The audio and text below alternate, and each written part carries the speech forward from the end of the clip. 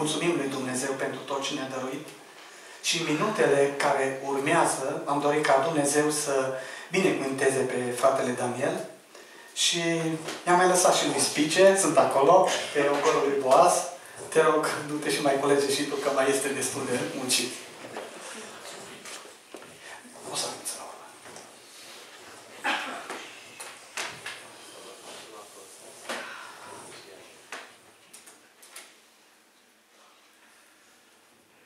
Dragi frați și surori, eu, din câte am înțeles, astăzi avem o lecție din 1 Ioan din capitolul 5. Și în 1 Ioan, în capitolul 5, în mod normal să începem de la 5 încolo, dar știți cum e? De multe ori problema e că dacă vrei numai să vorbești despre un singur lucru, există și riscul să te rătăcești. Și de fapt, una din marile probleme despre care s-au putut observa și în istorie, au fost că oamenii au crezut că știu multe lucruri și au crezut că și au început și să-și dea certificate, ca să arate că uite cât uh, înțelepciune se află în oamenii aceștia. Și de multe ori Dumnezeu a lucrat într-un mod miraculos prin oameni chiar care nu au avut nevoie de o autoritate pământească ca să îi certifice. De fapt, și Apostolul Pavel spune că, vorbind cu frații, spune că eu am fost așa cumva mai ciudat, adăugat la mijlocul vostru că nici n-am vorbit cu apostole. Zice, ba da, am vorbit, la un moment dat și începe să enumere vreo două nume. Dintre care și pe Petru. Dar care e ideea? Ideea e că ce e important să înțelegem că de multe ori, dacă prea multă învățătură obosește trupul, zice, este spus într-un loc. Și Dumnezeu niciodată nu a avut uh, uh, intenția cu noi ca să ne forțeze multă învățătură. Dar de obicei, în puține cuvinte, Dumnezeu ne-a explicat foarte multe. Și asta vreau să spun că și în cazul capitolului 5, aici din 1 Ioan, este ceva similar. Vezi că, de fapt, aici, chiar în capitolul 5, dacă te uiți și citești, ai putea să spui că e descris tot. Că nu mai e nevoie să adaugi ceva la teologie citești capitolul ăsta și pricep cam cum stau lucrurile. Dar citind numai aici, s-ar putea să prinzi o idee de diferit decât cum ar trebui. Și de-aia cred că ar fi bine să încercăm să ne uităm peste mai multe locuri, să vedem cum toate construiesc aceeași construcție. Și cine a lucrat în construcții, înțelege că dacă începi să construiești într-un fel, trebuie să construiești în felul ăla. Că dacă pui ceva diferit la o casă, nu este casa bine. Dacă pui, de exemplu, ușa pe tavan, nu-ți mai zice, tot, când intră cineva în casa aia, întreabă ce cu ușa aia de pe tavan? Pentru că pare diferit față de ceea ce tu spui. Dar asta e casă. Și atunci zice, de ce e ușa în tavan? Pentru că ceva nu se potrivește la casa respectivă. Și noi știm asta. Și Dumnezeu știe că știm lucrurile astea și ne spune următoarele cuvinte aici din Ioan.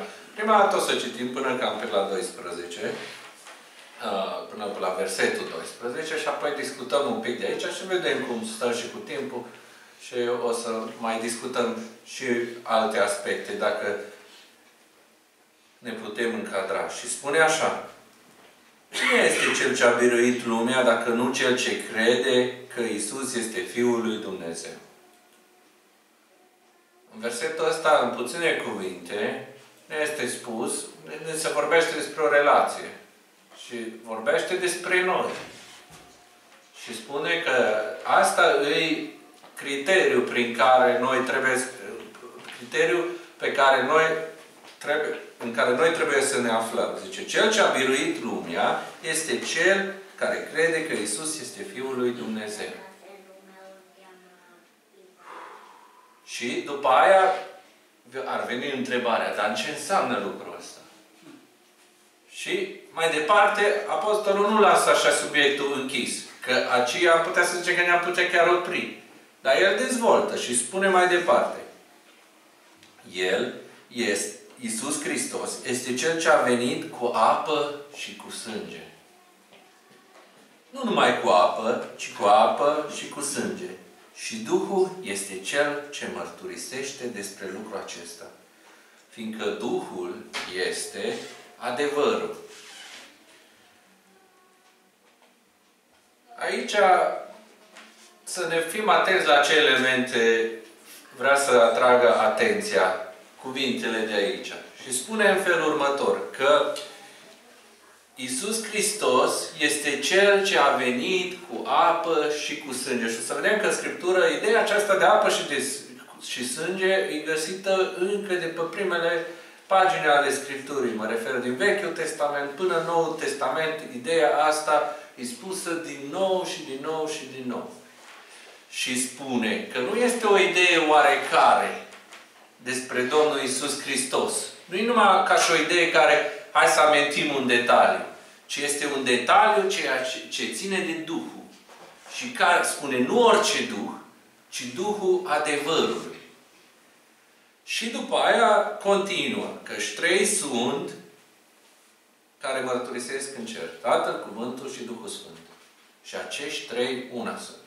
Și asta, în general, e pus în paranteze. Pentru că, motivul să vă explic de ce e pus în paranteze. Pentru că Biblia, cum avem în forma de astăzi, nu îi, a fost scrisă de foarte mult timp și mai de mult oamenii nu au avut avantajele care le avem noi, uh, că vrem ceva, imediat mergem, apăsăm un buton și iese pe foaie. Ci trebuia să fie niște oameni care scriu. Și au scris mulți oameni diferite forme. Și în majoritatea formelor, versetul ăsta lipsește. Dar o să vedem că nu e o problemă imediat când ne uităm că și dacă îi aici, pentru că de fapt e o colecție ce se spune în alte locuri din Scriptură și, cum am spus, să nu scoatem din context, că următorul verset ne spune despre ce, despre ce unitate oarecum e vorba și spune că și trei sunt care mărturisesc pe pământ, Duhul, apa și sângele. Și acestea trei sunt una în mărturisirea lor. Și anume ce spune aici? Că ceea ce am discutat în versetul 6 despre persoana Domnului Isus Hristos există într-o unitate. Ideea aceasta de apă, sânge și Duh este o declarație, dar făcută o declarație în unitate. Nu-i, nu-i una spune într-un fel, alta spune în alt fel. Toate lucrurile astea sunt atent construite. De-aia am și spus exemplu cu casă. Nu e ca și cum una spune un lucru, alta spune despre altă lucrare sau altă. Toate vorbesc în același fel. Deocamdată vorbim un pic uh, mai codat, ca să spunem așa, până când uh, putem să, să, să asimilăm informațiile astea într-o formă mai ușor de digerat. Dar luăm, luăm încet. Și zice, dacă primim mărturisirea oamenilor, mărturisirea lui Dumnezeu este mai mare și mărturisirea lui Dumnezeu este mărturisirea pe care a făcut-o El despre Fiul Său. Aici ni se mai adaugă un element la toată descrierea asta și spune că există mai multe feluri de mărturisiri. Și spune că este o mărturisire care o fac oamenii cu privire la diferite lucruri. Dar spune că este o mărturisire pe care o face Dumnezeu. Și spune că mărturisirea lui Dumnezeu depășește mărturisirile oamenilor. Este mai mare ca și mărturisirile oamenilor. Hai să facem un pic o pauză, să ne gândim puțin ce înseamnă mărturisire. A spune despre. A spune despre ceva. O descriere. Și ce fel de descrieri există? Există descrieri impresionante și există descrieri care nu am înțeles despre ce e vorba. Și Dumnezeu spune că face o, o descriere, dar face o descriere impresionantă. Și descrierea aceasta impresionantă este despre Isus. Pentru că citesc din nou, zice, mărturisirea lui Dumnezeu este mărturisirea pe care a făcut-o El despre Fiul Său. Dar spune că mărturisirea aceasta lui Dumnezeu cum a fost făcută? A fost făcută într-o unitate și unitatea în care a fost făcută, a fost făcută prin Duhul adevărului, prin apă și prin sânge. Cine crede în Fiul lui Dumnezeu, spune în versetul 10, are mărturisirea aceasta în El. Cine nu crede pe Dumnezeu, îl face mincinos. Din nou ne se spune că această mărturisire nu este o mărturisire oarecare în care poți avea mai multe opinii. Nu este o mărturisire în care putem să jonglăm și să spunem că e așa sau nu e așa. Spune că negarea acestei mărturii în sine despre Isus Hristos făcută în adevăr este ca și cum l-ai face pe Dumnezeu mincinos. Mai vorbește oare Ioan despre minciună? Da. Dar atunci vorbește despre noi. Și ce spune despre noi? Că dacă noi spunem că nu avem păcat, suntem mincinoși. Dumnezeu vrea ca în relația în care o dezvoltăm cu El, să fie criteriul adevărului un criteriu important. Și Dumnezeu spune că acest criteriu este un criteriu care a fost stabilit de la început. De aia și Ioan, când începe uh, această epistolă, în capitolul 1, spune că ce spune despre mesajul acestei Evanghelii? Spune că v-am spus lucrurile astea care erau de la început. început. Și ce au spus că era de la început? Că Dumnezeu este lumină. Și că în Dumnezeu nu există întuneric. Și atunci nu este surprinzător că în acest verset 10 se reafirmă oarecum ideea sub o altă formă. Și atunci spune că Dumnezeu este curat, Dumnezeu este în adevăr și mărturisirea pe care o face El este una adevărată. Și dacă n-ar fi una adevărată, atunci e ca și cum l-ai face pe Dumnezeu mincinos. Ceea ce nu este cazul. Pentru că Dumnezeu este lumină. Și spune, și mărturisirea este aceasta, Dumnezeu ne-a dat viața veșnică și viața este în Fiul Său. Cine are pe Fiul are viață, cine nu are pe Fiul lui Dumnezeu, n-are viață. V-am scris aceste lucruri ca să știți că voi care credeți în numele Fiului Dumnezeu aveți viață veșnică. E foarte interesant că una dintre întrebările noastre ar fi de ce vorbește dintr-o dată Apostolul despre viață? Că până acum parcă vorbea despre altceva, despre mărturisire. Dar de fapt cred că aici ne și atrage atenția că nu există diferite variante în această învățătură. Și anume, mărturisirea și crede, credința în numele Fiului lui Dumnezeu, în numele lui Isus Hristos, să leagă foarte strâns. Și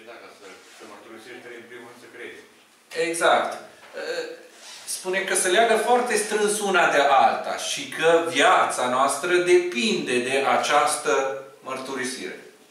Nu e ca și cum ai putea să spui un lucru și uh, după aia viața ta să fie separată de lucrul acesta. Și viața în sine se împletește în lucrul, în lucrul acesta și conlucrează la o singură mărturie. Mărturia aceasta despre Domnul Isus Hristos. Adică nu există o separare, nu există mai multe variante, există un singur Dumnezeu, spune aici Apostolul, și Dumnezeul acesta face o mărturie despre Fiul Său și mărturia care o face despre Fiul Său este făcută în Duhul adevărului și Duhul adevărului este mărturia aceasta este în apă și în sânge. Și acum haideți un pic să descoasem câteva din declarațiile de aici. În primul rând, ca să ne uh, să trecem puțin peste uh, elementul cumva dificil din această, din această declarație, să ne uităm puțin despre peste ideea aceasta de mărturisire. Într-adevăr, oare Tatăl mărturisește despre Domnul Isus Hristos? Da, găsit în alt loc în Scriptură. Și citim în Ioan, în capitolul 8,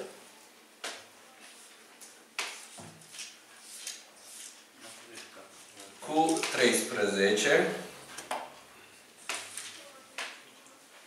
spus așa. Fariseii i-au zis, tu mărturisești despre tine însuți. Deci mărturia ta nu este adevărată. Vreau să spun că aici ne putem să facem o, o pauză, să spunem că și Domnul Isus Hristos mărturisea despre El. Și zice, drept răspuns Iisus i-a zis, chiar dacă mărturisesc despre mâine însuși, totuși, mărturia mea este adevărată. De ce? Căci eu știu de unde am venit și unde mă duc, dar voi nu știți nici de unde vin, nici unde mă duc. Adică Domnul Iisus Hristos spune că există o direcție a lui Dumnezeu. Și El, ancorat fiind în cuvântul Tatălui, știe foarte clar de unde vine și unde se duce. Și de aia oricine altcineva care spune lucrurile altfel, sunt de rută. Și le explică de ce. Voi judecați după înfățișare. Vă uitați la un om și spuneți, omul ăsta nu-mi place de el.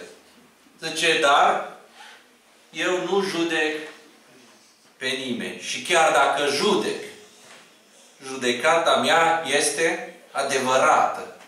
Vedem tematica aceasta a adevărului prezentă continuu în ceea ce privește pe persoana Domnului Isus Hristos. Și spune mai departe. Pentru că nu sunt singur, ci Tatăl care m-a trimis este cu mine. Nu există o separare. Și zice, în legea voastră este scris că mărturia a doi oameni este adevărată. Care sunt acești doi oameni? Zice, deci despre mine însul mărturisesc eu și despre mine mărturisește Tatăl care m-a trimis. Tatăl mărturisește despre mine și voi știți lucrul acesta, spune Domnul Isus Hristos. Și au zis, unde este Tatăl tău? Pentru că ei probabil să gândeau la Iosif. Tatălui natural. Și Isus a răspuns. Voi nu mă cunoașteți nici pe mine, nici pe Tatăl meu. Dacă m-ați cunoaște pe mine, ați cunoaște pe Tatăl meu. Interesant. După care, hai să citim un pic uh, din 1 cu 14. Da. Primul capitol. Zice, și cuvântul s-a făcut trup și a locuit între noi plin de har și, a, și de adevăr. Și noi am privit slava Lui, o slavă tocmai ca slava singurului născut din Tatăl. Ioan a mărturisit despre el când a strigat, el este acela despre care ziceam eu, cel ce vine după mine este înaintea mea, pentru că este înainte de mine. Și noi toți am primit din plinătatea Lui har după har. Căci legea a fost dată prin Moise, dar harul și adevărul au venit prin Isus Hristos. Duhul adevărului se manifesta și a fost plănuit de Dumnezeu să se manifeste în persoana Domnului Isus Hristos. Și să mai citim un verset uh, în 15, tot Ioan, 15 și să citim de la 26.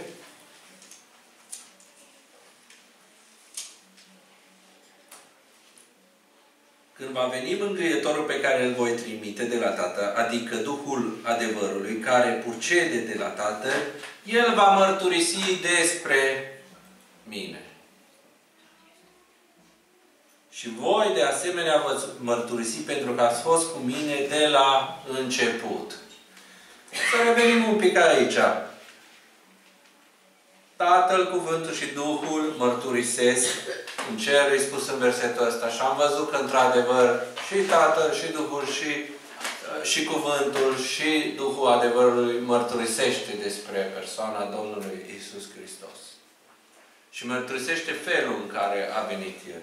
Și trei sunt care mărturisesc pe pământ Duhul, apa și sângele și aceste trei sunt una în mărturisirea lor.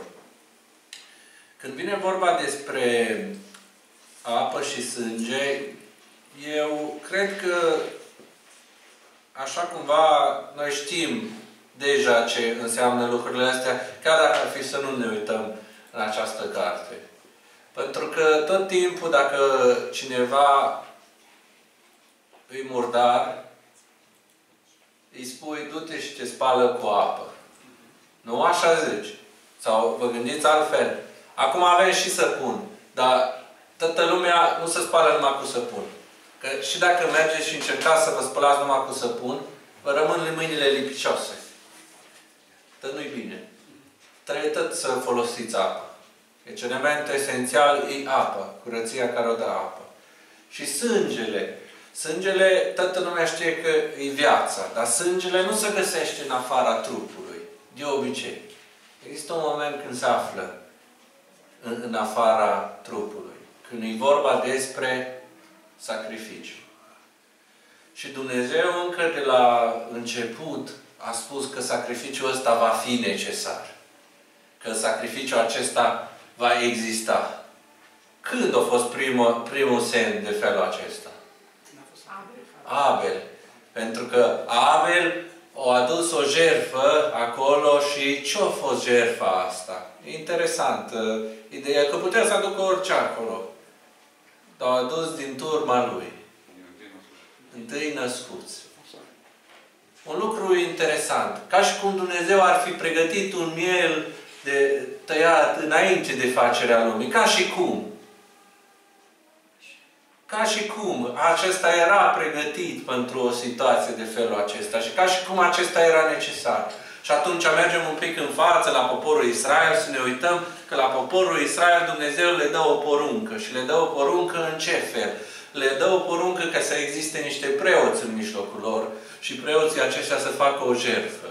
O jertfă și sunt multe feluri de jertfe care sunt necesare pentru a îndrepta condiția noastră. nu e așa? Că nu era numai una. Erau multe jertfe care erau puse acolo. Și jertfele respective, multe dintre ele, era... în parte. Da, era, vreau să zic că era consumat cu sânge. Și poporul Israel știa că atunci când vine vorba de jerfe, ca jerfele să se poată fi înfăptuite, era nevoie de curăție. Nu exista ca preotul să poată să meargă să facă jertfa oricum. Nu exista ca animalul să poată să fie oricum. Era necesară curăția tot timpul când era vorba despre aceste jertfe. Spălare, curăție, era, era un element necesar ca jertfa să poată să fie făcută. Și totuși, cu toate condițiile astea îndeplinite, și ceva ce remarcă și Apostolul, că felul ăsta de jerfe era necesar să se tot repete, să se tot repete. Ca și cum cerea răspunsul la o întrebare. Până când condiția asta a noastră va fi una de păcat, care va, necesar, va fi necesară tot timpul ca noi să, ne, să mergem, să, să facem curăția asta temporară și să, să, să, să pună o jertfă de, de sânge, suferința asta, ca să o vedem în fața noastră uh, repetată în fiecare an, până când va fi necesar felul ăsta de lucru. Și Dumnezeu avea răspunsul la întrebările lor. Avea răspunsul Dumnezeu pregătit. Pentru că El, și putem să citim explicația asta, dar vă lăs să citiți acasă. spune că dacă o venit odată pentru totdeauna Domnul Isus Hristos ca să depună o jertfă care să poată să încheie ciclul ăsta de necesar, de repetare, ca noi să fim într-o anumită condiție. Potrivită ca să ne putem apropia de Dumnezeu. Da, am citit ceva interesant aici în cuvintele Domnului Isus Hristos. Că mărturia aceasta care face Duhul adevărului, despre care vorbeam, intră și în noi. Și și noi trebuie să facem aceeași fel de mărturie despre Domnul Isus Hristos. Până la urmă, condiția noastră și, uh, cum să spun, partea asta fizică să schimbă conform cu mărturia aceasta. Nu e ca și cum uh, o spus Rudy, o amintit în, în discursul său, că nu mai auzit și aștept să se întâmple ceva. Ci ești împletit în mărturia aceasta. Mărturia aceasta despre Domnul Isus Hristos devine parte din viața ta. Condiția ta de viață și de moarte. O teologie interesantă, pe care de multe ori încercăm să o spunem altfel, ca și cum s-ar putea să fie o altă variantă. Și aș vrea să citim uh, despre uh, un fel de uh, un fel de dezbatere de felul acesta din Ioan, din 3. Citesc mai mult din Ioan acum, pentru că Ioan avea un anume vocabular și mai ușor de înțeles în momentul când vorbești cu același fel de vocabular. Dar uh, informațiile astea sunt uh, consistente și în alte, în alte locuri. Uh, Ioan 3, da. În Ioan 3 zice că între farisei era un om cu numele Nicodim, cu unul. Un fruntaș al iudeilor. Acesta a venit la Isus noaptea și a zis, Învățătorule, știm că ești un învățător venit de la Dumnezeu, că nimeni nu poate face semnele pe care le faci tu dacă nu este Dumnezeu cu el. Nicodim observă o chestie importantă la Domnul Isus Hristos. Și e interesant că el a venit noaptea. Și a spus că Dumnezeu e lumină.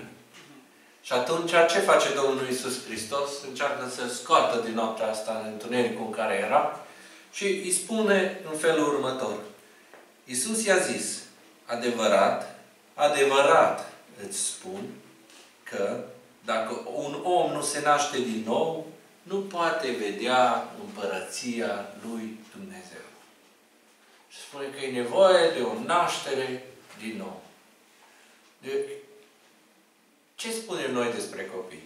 Zice, când se naște un copil, zice, nu putem să-l judecăm, că e un copil. Nu așa zicem. Zice, e inocent ca un copil. Nu așa spunem noi despre un copil. Spunem că, zice, ăsta e ceva, un lucru pur. Și tot timpul când te uiți la un copil, chiar am văzut o emisiune în care vorbea, zicea că copiii au o putere supranaturală. Și zicea, cum se poate, am zice noi, cum se poate ca copiii să aibă putere supranaturală? Spunea că au două chestii care numai copiii le au. Unu, copilul te face să îți fie drag de el. La majoritatea oamenilor, dacă nu ești tu defect cu mingea, când vezi un copil, pur și simplu îți vine să să-l iubești. Nu știi ce, nu-ți trebuie o explicație e, să vină cineva cu doctorat să-ți spună treaba asta. Dar vezi un copil și zici, ioi, ce drag mi copilul ăsta. Și mai are o supraputere copilul. Copilul dacă plânge, tu ca și adult nu poți să stai neliniștit. Ce ai zis tu? Multă lume nu știe cum să se controlează, se nervează. Dar ideea e că are puterea asta să te schimbe. Și acum să citim. Domnul Iisus Hristos spune că trebuie să ne naștem din nou. Dar nu să ne naștem oricum și să ne lăsăm din nou corupți de, uh, de lumea aceasta. Pentru că am văzut că există două feluri de mărturisiri. Ci spune că trebuie să ne păstrăm în mărturisirea lui Dumnezeu. Să devenim niște copii al lui Dumnezeu. Și astfel să manifestă nașterea asta din nou. Dar folosește cuvântul naștere. Aici este o mare binecuvântare și multă lume nu pricepe treaba asta pentru mamele care nasc copii. Pentru că mamele știu că un copil, da, ți drag el, dar vine cu multă durere. Că atunci, conform cu cuvintele care le-a spus Dumnezeu, iar pe primele pagini ale Scripturii au spus că nașterea nu va fi un lucru ușor. Nu Nu putea să spună Domnul Iisus Hristos că trebuie să te faci copil din nou. Dar nu a spus că trebuie să te faci copil din nou. Pentru că e un element esențial în descrierea aceasta, care nu trebuie să-l trecem cu vederea. Și anume faptul că trebuie să ne naștem din nou. Durerile astea a nașterii e, e un, un element esențial. Și nașterea spune început. Nu există ca și cum ai da un pic până la un anumit punct. Că noi, după aia, eu sunt aproape sigur că dacă era formulată altfel Scriptura, aveam o discuție poate de formă teologică, că până la ce an trebuie să fii copil ca să fii primit de Dumnezeu. Că câteodată noi luăm standardul lui Dumnezeu și încercăm să-l facem mai mic decât trebuie. Și Dumnezeu spune nu că în totalitate, de la început, conform cum e o naștere. Nu a fost un copil, acum e un copil în mijlocul nostru. În felul ăsta spune Dumnezeu că lucrez. Într-un mod foarte clar. Nu există, nu trebuie să discutăm că până când. De la început, de la zero. L-am luat. Și provoacă mare bucurie. Da, sora Maria. Aș vrea să spun că eu înțeleg din versetul ăsta că nu se referă la naștere literară. Corect, corect. Numai că spun că, uh, spun că uh, când uh, Domnul Iisus Hristos spunea pilde, de multe ori folosea cuvinte pe care oamenii le puteau înțelege despre ce vorbea. Desigur că, și o să citim mai departe și o să vedem efectiv explicația că e vorba despre... Și Nicodim așa a înțeles. Da, da, da. Că el zice, Nicodim i-a zis, cum se poate, și citim versetul 4, cum se poate naște un om bătrân? Zice, poate el să intre a doua oară în pântecele mamei sale și să se nască? Și Domnul Iisus i-a răspuns, adevărat, adevărat îți spun că dacă nu se naște cineva din apă și din Duh, din apă și din Duh, dacă cineva nu se naște, nu poate să intre în împărăția lui Dumnezeu. Ce este născut din carne este carne și ce este născut din Duh este Duh. Nu te mira că ți-am zis, trebuie să vă nașteți din nou. Vântul suflă în cotrovrea și i auzul de nu știi unde, de unde vine în cotrovrea. Și tot așa este cu oricine este născut din Duh. Adică Domnul Iisus Hristos spune că nu e ca și o, nu e unul la unul ca și o naștere naturală, cum se gândea de fapt și Nicodim. Că Nicodim s-a gândit, poate că a, a trebuit să se întâmple la fel cum a fost când și eu, bătrân, nu-mi imaginez cum s-ar putea face lucrul ăsta. Dar Domnul Iisus Hristos îi spune, e ca și o naștere. Încearcă să înțelegi ce ți-am spus. Cine îi din Duhul are alte caracteristici decât cineva ca și, care e numai din carne. E ceva total diferit. Ceva care nu a fost, acum este.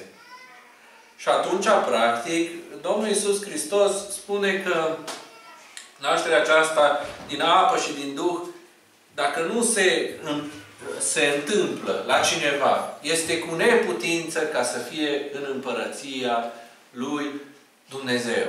Adică, revenind la mesajul de aici din 1 Ioan, capitolul 5, Cine crede în Fiul lui Dumnezeu are mărturisirea aceasta în El. Cine nu crede pe Dumnezeu îl face mincinos, fiindcă nu crede mărturisirea pe care a făcut-o Dumnezeu despre Fiul Său. A făcut oare Dumnezeu mărturisire, ă, Domnul Iisus mărturisirea aceasta, felul ăsta de mărturisire în apă și Duh? Ca spune că da, nu numai că s-a născut și s-a identificat ca fiul omului, dar o și trecut prin botez. Și Ioan, când l-a văzut, a fost rezist, o rezistat la ideea aceasta și i s-a părut cumva foarte ciudat. Pentru că noi de obicei când vedem planul lui Dumnezeu în desfășurare, de multe ori avem tendința să amestecăm, să tulburăm apele. Dar Domnul, Domnul Iisus Hristos ce a citit despre el? El scria foarte clar de unde vine și unde se duce. Și atunci ai spus în felul următor.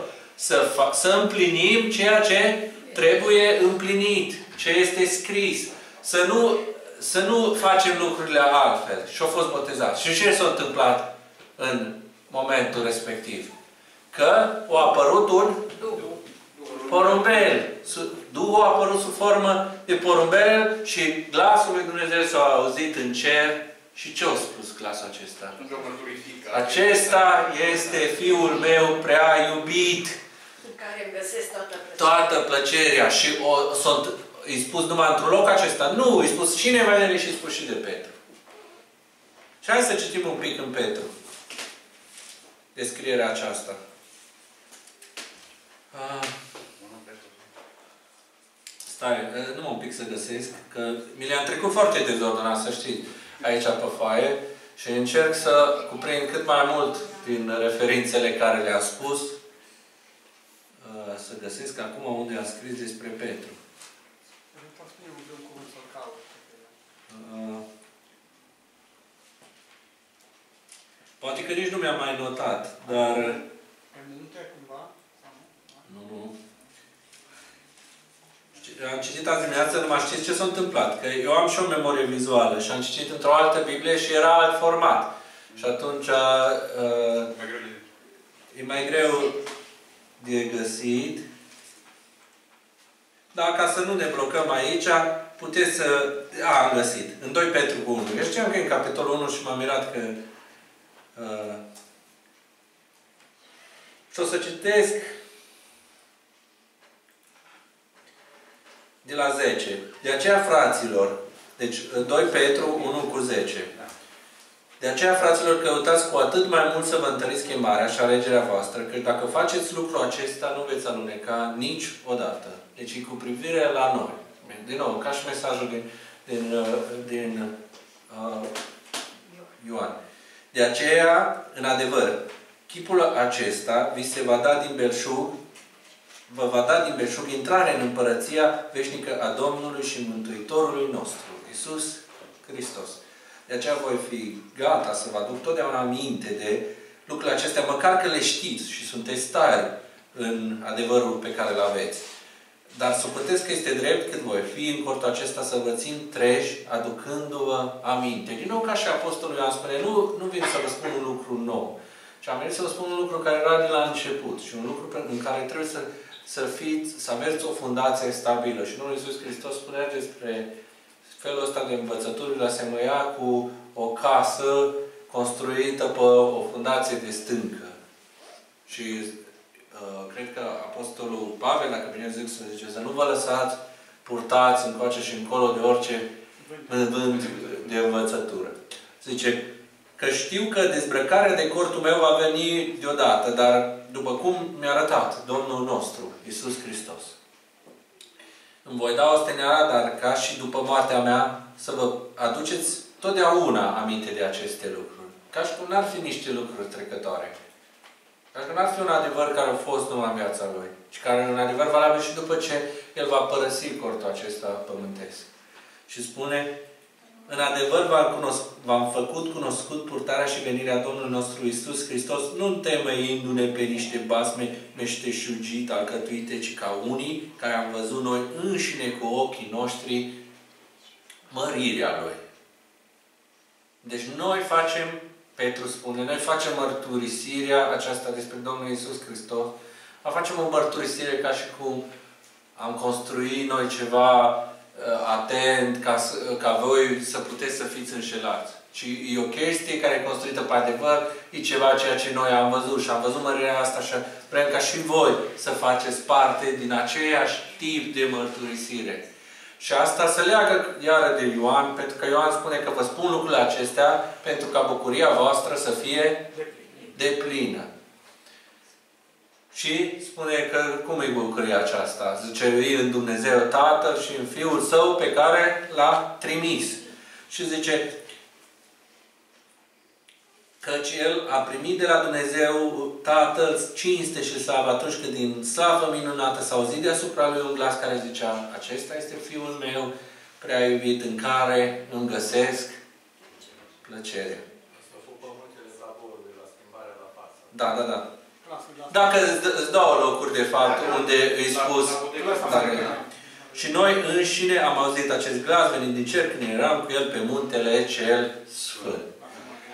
Zice, și aveam cuvântul prorociei făcut și mai tare, la care faceți bine să luați aminte ca la o lumină care strălucește într-un loc întunecos până când se va crăpa de ziua și va răsări luceafărul de dimineață în inimile noastre, fiindcă mai întâi de toate să știți că nicio prorocie din Scriptură nu se tâlcuiește singură, că nicio prorocie n-a fost adusă prin voia oamenilor, ci oamenii au vorbit de la Dumnezeu, mânați de Duhul Sfânt și aveau o singură direcție, ca să spunem așa, că direcția pe care și Domnul Isus Hristos a mărturisit-o mai înainte.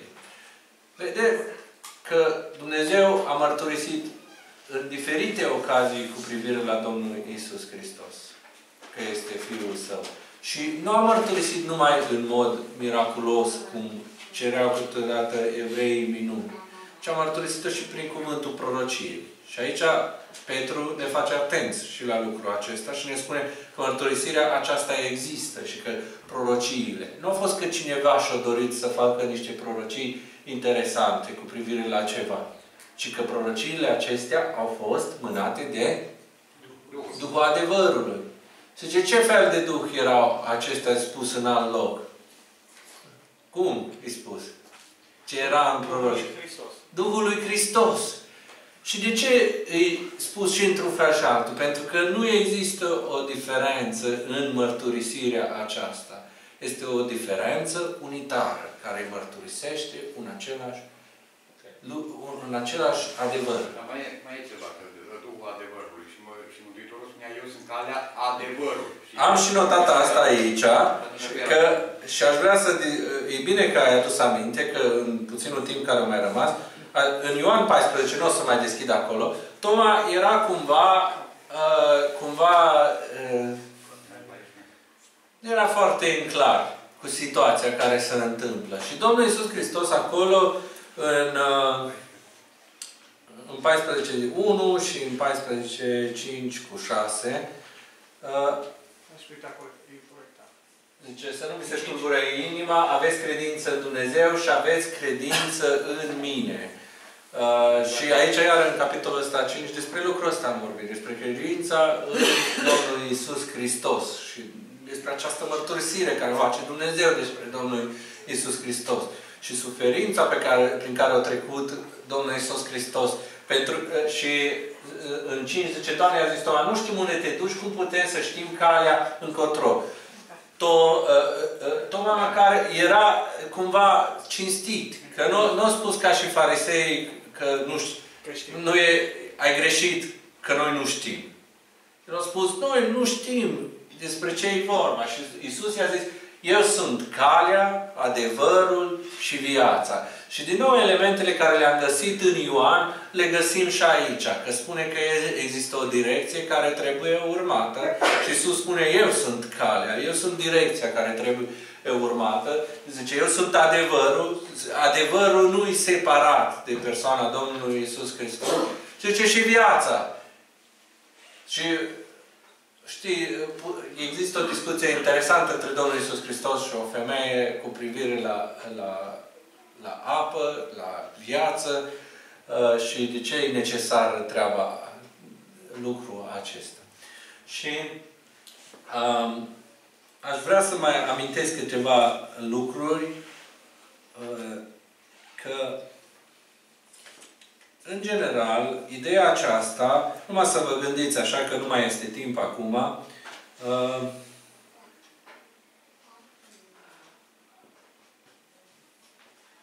în Evrei să citiți capitolul 10.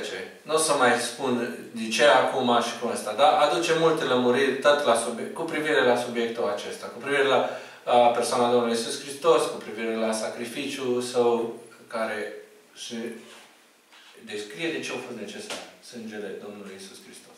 Evrei 10. Uh, în mod normal, e de la 15 încolo, e descrierea, cum să spun, dar e o lectură care poate să ne ajute să înțelegem mai bine subiectul ăsta. În, uh, ce vreau să spun e că uh, S-au amintit aici, despre, într-unul din versetele care le-am citit, s-au amintit despre Moise și vreau să spun că Moise, înainte să fie trimis de la oi ca să elibereze uh, poporul, au primit câteva semne. Știți câte semne au primit el? Că să le ai așa la îndemână. Trei.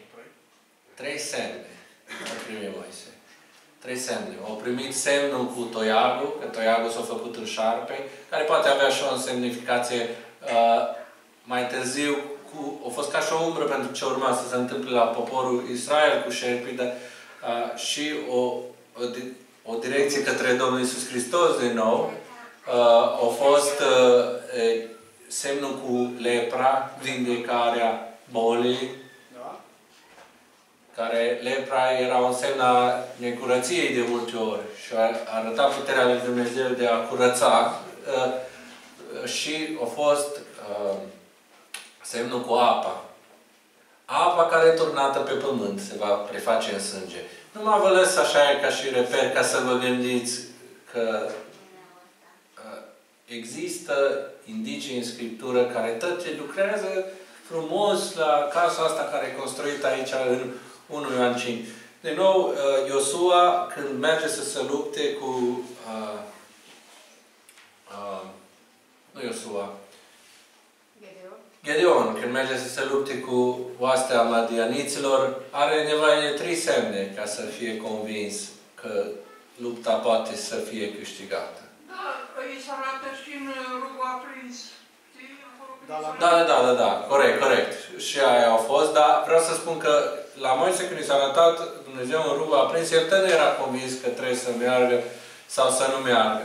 Bine că Moise a învățat să fie umil acolo, a văzut cât de greu e să, să cărmuiești o turmă de oi timp de 40 de ani și atunci i-a rămas ideea asta în minte destul de bine întipărită. Și Și se gândea că soi de oameni.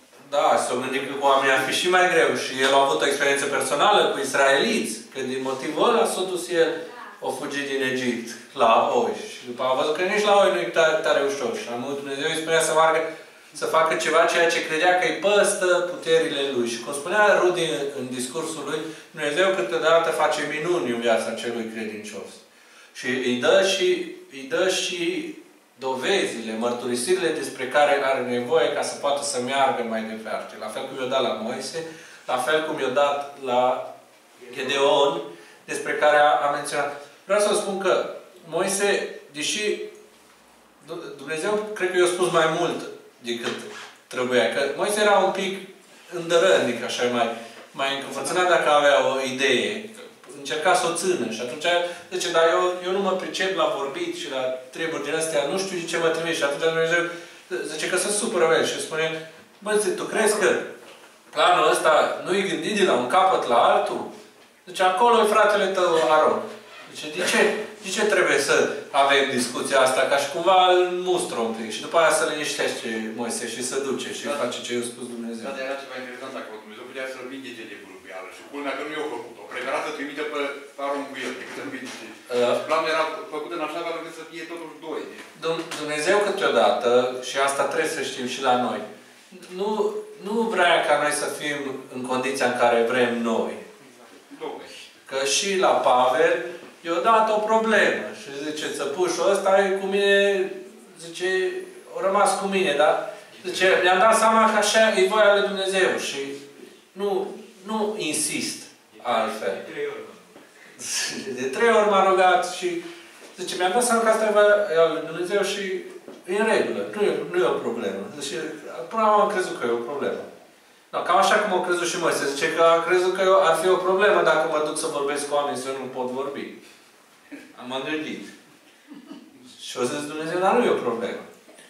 Și asta e și îndemnul, de fapt, care ne-l dă Ioana aici, în uh, versetul 5. Și aș vrea să vă lăs cu gândul acesta care l-a spus Domnul Iisus Hristos, că ce este cu neputință la oameni este cu putință la Dumnezeu. De multe ori noi credem că li- și încercăm să punem limitele, ca și cum a făcut Gedeon.